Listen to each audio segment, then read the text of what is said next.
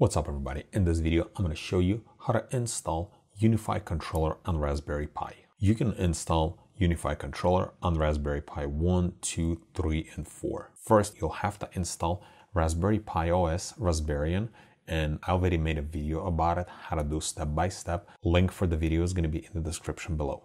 So first thing we need to do, once you have your Raspberry OS installed, we need to open terminal window and in here, we need to type sudo apt update and I will leave all commands in order in the description below and then press enter.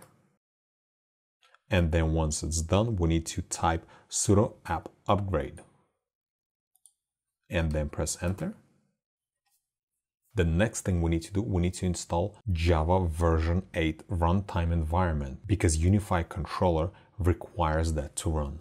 So then we'll type this command and then press enter. Then we need to press on Y here and then enter.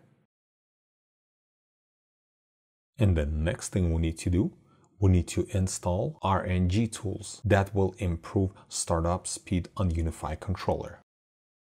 Type this command and then press enter. Now we need to make slight change in configuration so then we need to type following command and then press enter. And then in here, what we're gonna do, we need to remove hashtag from this HRNG device equals forward slash dev forward slash HARNG. So we'll have to move down and then remove that. Then once we do that, we need to press on Control X, then Y and enter. Now we need to restart our RNG tools with the following command and then press enter. And now we'll be installing UniFi controller software to Raspberry Pi. Just copy and paste all the commands, the ones you'll find in the description below, and then press enter. Then we need to add repository GPG key by using following command. As we made change to repositories, now we need to update the package. So same thing again, sudo apt update. And now finally, we're going to install UniFi controller software and then press enter. Now we need to press Y here and then enter.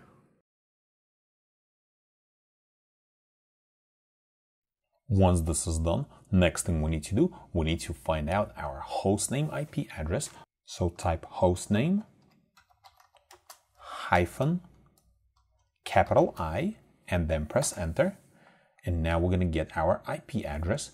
So next thing we need to do, we need to open our internet browser. You can do it from your regular computer or we can do it from here.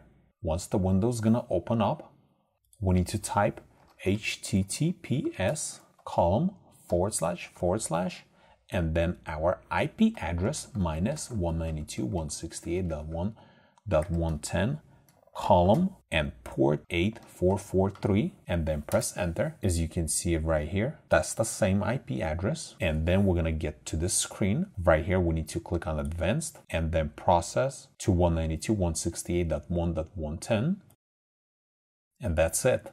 We have UniFi control software installed on our Raspberry Pi. And for example, if you restart your Raspberry Pi on a startup, the software will be started. So right here, you need to name your controller and then go through the setup process. Most likely it's gonna make you create UniFi account. And that's how you can manage all of your Unified devices with just Raspberry Pi. And you don't have to have a key cloud.